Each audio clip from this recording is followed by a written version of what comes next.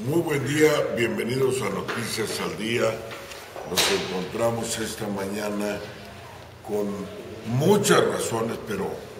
algunas más importantes que otras, de ser chihuahuenses, de estar aquí. En mi caso, de ser un hijo adoptivo de este hermosísimo estado y de esta hermosísima ciudad capital. Los motivos, fíjense, hoy se están cumpliendo 302 años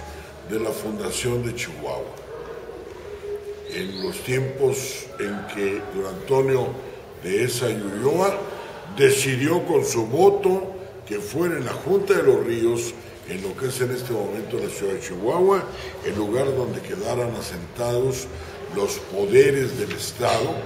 de, de lo que era entonces la Nueva Vizcaya, y para dar pie a la fundación del Real de Minas de San Felipe, eh, en lo que es Chihuahua, ¿no? Y otra de las razones, indudablemente la de mayor peso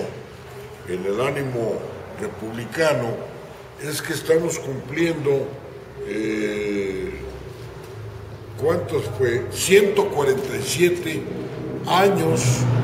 en que aquí don Benito Juárez, en su peregrinar republicano contra el imperio francés,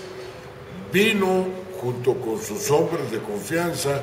instauró el gobierno de la República y defendió la soberanía de México frente a la bota francesa.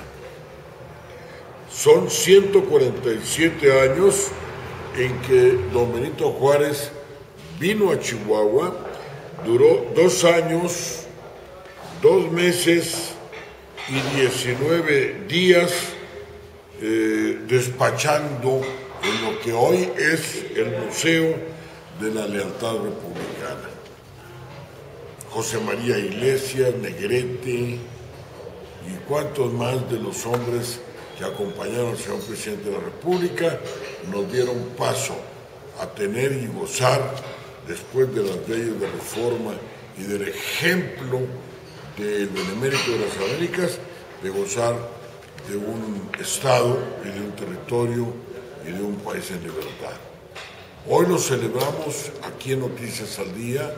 los invitamos a que ustedes sientan ese orgullo, ese orgullo de pertenencia, de ser Chihuahua el escenario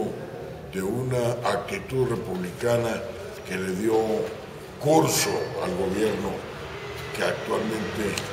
y al Estado de Derecho en que actualmente vive México, por supuesto, con las manchas que han originado las corrientes políticas e ideológicas que no coinciden con la actitud y con el pensamiento juarista. Soy Marco Antonio Guevara, tengan muy buen día, eh, los invito a continuar con nosotros aquí en Noticias al Día.